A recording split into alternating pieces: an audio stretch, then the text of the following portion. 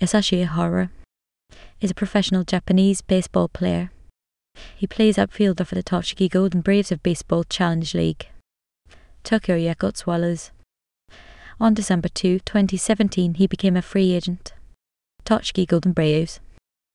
On January 9, 2018, he signed with Tochigi Golden Braves of Baseball Challenge League.